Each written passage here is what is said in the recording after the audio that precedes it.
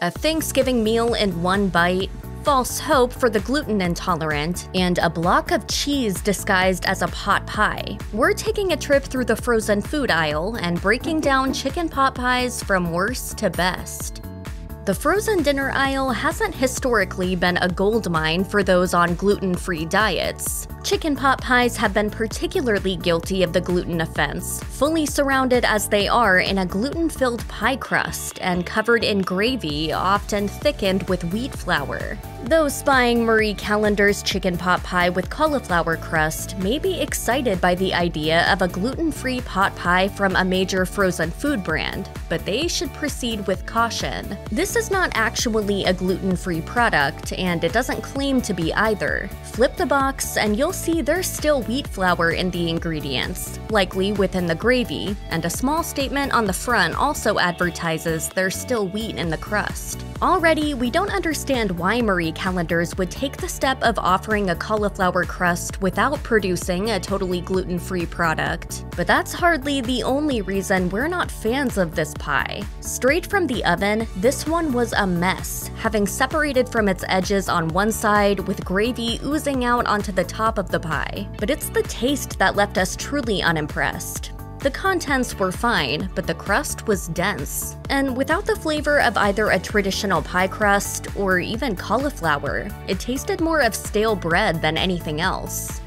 A seemingly snazzier budget offering from Banquet, the chicken and broccoli pot pie sounds like an interesting way to switch up pot pie night, but you might want to think twice. While the addition of broccoli sounds delicious and even healthier, you won't find much broccoli within a single pie, and the pieces you do find are relatively flavorless. There's certainly no additional broccoli flavor swimming about in the gravy, and Banquet actually eliminates peas and potato in order to sub in the broccoli, so you're left with fewer veggies and less flavor overall. It's also worth noting that the budget options do ring up for less than half the price of the more upscale pot pies and supermarket freezers. But you should pay attention to what you're getting for that bargain before you make your choice. In banquet pot pies, for example, the meat comes from chicken roll and mechanically separated meat, which is reformed chicken shaped from a slurry. As with any other product in any market, you get what you pay for with cheap, fast, and frozen meals. So, if ingredient quality and nutrition matter, read the boxes carefully.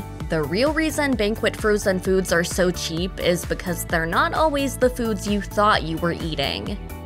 We start with our own savory gravy. Then we add carefully selected vegetables and government inspected chicken or beef. The banquet chicken pot pie is exactly the pot pie you picture when you think about scoring a quick bite from the freezer aisle. It's cheaper than most, it's smaller than most, and you're not going to encounter any bells or whistles with this choice it gets the job done, and it does so in less time than the larger pies, requiring just about 30 minutes in the oven. Banquet suggests you cut a slit in the upper crust before baking so it doesn't explode, but there isn't much risk of that. The rippled rim of this pot pie is rarely intact by the time you get it home, so most banquet pot pies already have areas for steam to escape. In other words, this isn't one you should be presenting to anyone you're trying to impress. It's a quick meal for time crunched days, and that's about it. One benefit it did have over its competition in the budget category, we found the chicken chunks larger in the banquet pies than in the low price competitors.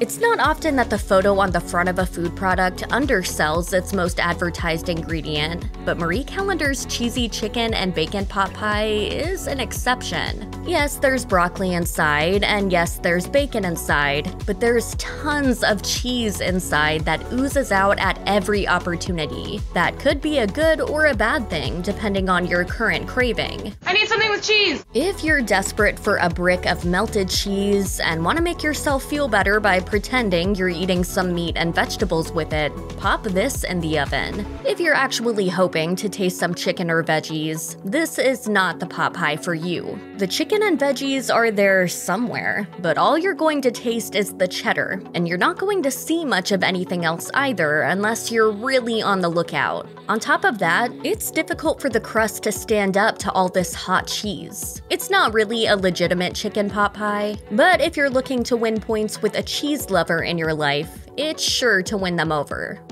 Swanson is another budget brand in the frozen food space, and we rate it slightly higher than Banquet, at least for frozen chicken pot pies. Many markets will only carry one or the other, but if you have both at hand, we recommend reaching for Swanson for one specific reason alone the chicken. Even if there appears to be more chicken in a banquet pie, Swanson's are slightly better. Truth be told, there are very few differences between Banquet and Swanson chicken pot pies, and that's likely because they're both owned by Conagra brands and share similar production, packaging, and distribution. They look the same and cook the same, but there is a tiny difference that makes a big impact to us, and that's that Swanson uses ground chicken rather than mechanically separated chicken. That means it comes less from bone and tissue and more from meat and muscle. This slight difference in ingredients may also account for why Swanson's otherwise identical chicken pot pie also packs lower counts of sodium, cholesterol, and carbohydrates than Banquet, though it's higher in fat.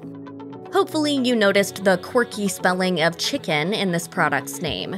If you're a vegetarian, we're sure you did, because you're used to seeing the names of meats manipulated every which way to indicate that they're not really meat. And such is the case with this, the only truly vegetarian chicken pot pie on our list. Marie Callender's chicken pot pie uses Gardein plant based meat in place of genuine chicken and fills the rest of the pie with the traditional carrots and peas, adding celery and onion pieces too. A word of caution for the casual vegetarians and meat reductionists. If you're not accustomed to meat substitutes, you aren't likely to love chicken at first bite. Unlike seemingly every other random meat on the planet, chicken does not taste like chicken. Everything tastes like chicken. The texture is also substantially different from any bite of real chicken you've ever had. You are likely to be somewhat put off by this meat alternative if this pot pie is your first introduction to it. Conversely, there's not much of it within the pie, so you could easily avoid it. But then why would you buy this individual portion? Still, we applaud this inclusion in Marie Callender's frozen pot pie lineup, and do think it deserves some points for making a meat alternative dish like chicken accessible to a wider audience.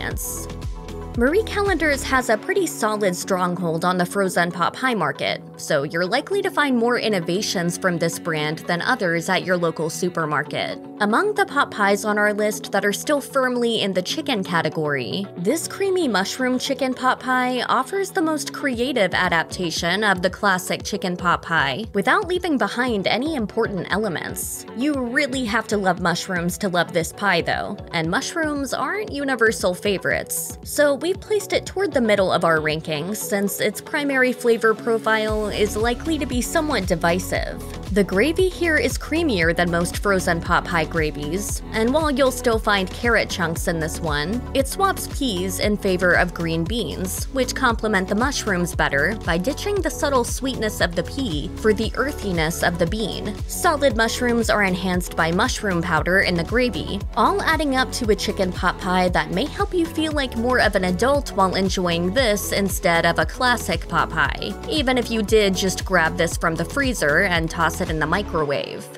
Depending where you live, you may not be able to find these chicken pot pie bites because they are from the store brand of Northeast grocery chain ShopRite. But successful store brands are not all that different from each other, so chances are good you'll be able to come across something similar if you pop into a large supermarket near you. Rather than a single pie, the bowl and basket chicken pot pie bites offer all the flavors of a chicken pot pie on a small puff pastry. While some appetizers of this size aren't often that good, these are surprisingly pleasing. They truly offer the full flavor spectrum of chicken, veggies, and gravy, and the puff pastry adds a flaky crust that you just won't get from traditional frozen pot pies. Inside the box, they're arranged in an oven safe plastic tray that goes right onto a baking sheet without requiring any individual handling. While they're definitely not stuffed with additional breading, popping an entire bite in your mouth does give the sensation of a Thanksgiving meal on a pastry, and it's hard to get much more soul warming than that.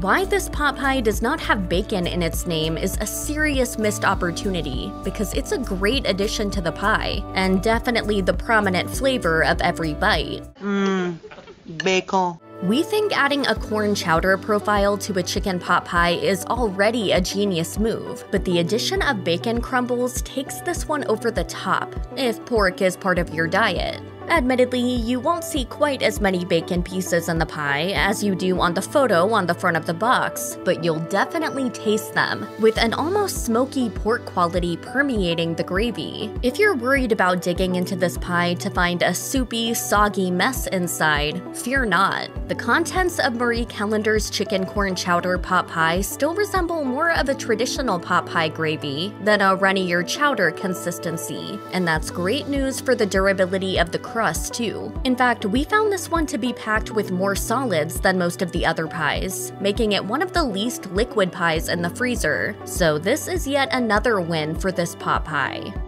As far as the classic chicken pot pie goes, the Boston Market chicken pot pie is the best you'll find in supermarket freezers. With big chunks of all white meat chicken and the corn, carrots, and peas you're probably looking for, Boston Market includes celery and onions too. The gravy is creamier than most, likely due to the welcome addition of half and half to the chicken stock. Even if you somehow failed to detect all of these little upgrades, it's impossible not to notice this pot pie's superior crust. And not just because it's the only one that comes with a fun design around the rim. This pie crust is noticeably more flavorful. Despite being frozen, this crust manages to deliver an element of freshness, and is simultaneously more savory and slightly sweeter than other brands' crusts, which nearly all come across as flavorless when compared to Boston markets. This one takes longer to bake than all the others, but it's well worth the wait.